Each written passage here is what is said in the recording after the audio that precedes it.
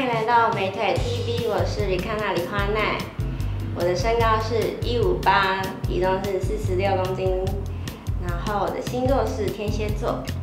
那今天要讨论的是六个水果男孩的特征。第一个呢就是甘蔗男，就是前阵子有发明的渣男形容词，一开始很甜，但吃到最后就只剩渣。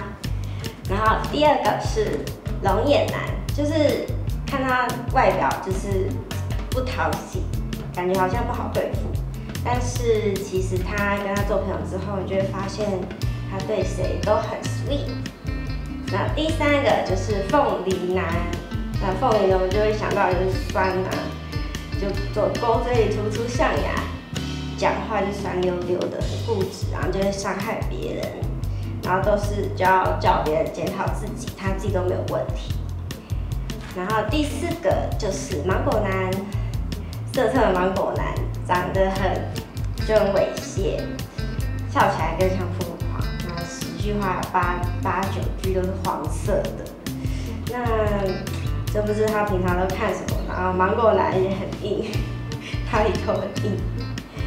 然后槟榔男。就有点像喝咖啡一样，一开始很苦涩，然后习惯之后，你就享受它甘甜的滋味，然后你渐渐的就会依赖它，然后就好像毒品上一样，已经戒不掉了。可是呢，到后面就是一样，它会，它它是很伤身体的，然后也是后面都是满满的渣渣。然后第六个就是榴莲男，啊，榴莲男的话就是最棒的。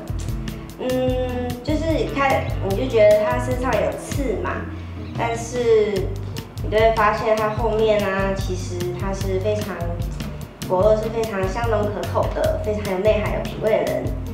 他不是不讲道理的，对他只是因为他有刺，只是他保护自己，所以他就是一个极品。